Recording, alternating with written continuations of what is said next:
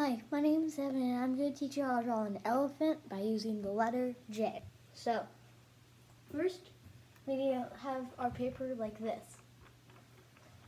And then, towards this side of the paper, we make a lowercase j.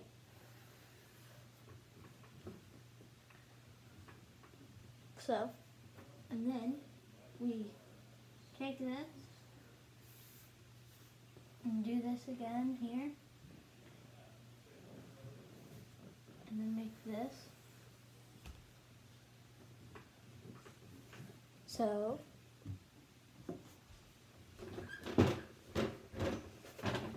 like this. And then we make this to make it the tusk.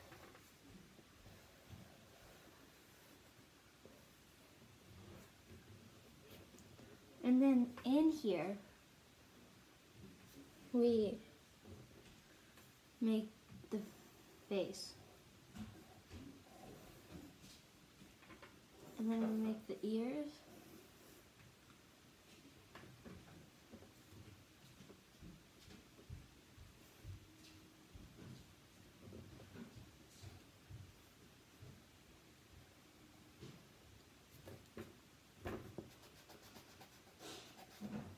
And then we are making the mouth. We go in a little bit, like this. And then we make the trunk.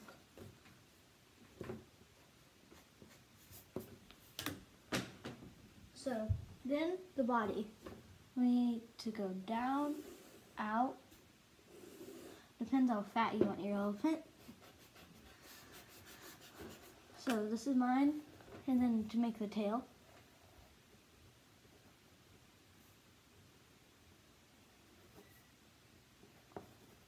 Just make that.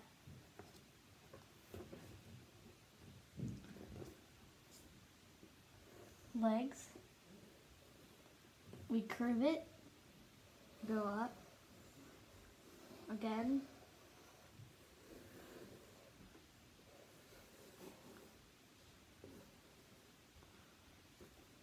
We go up like this, there, and then we make three toenails.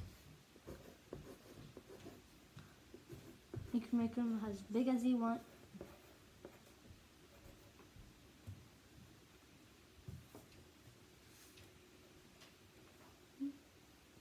And then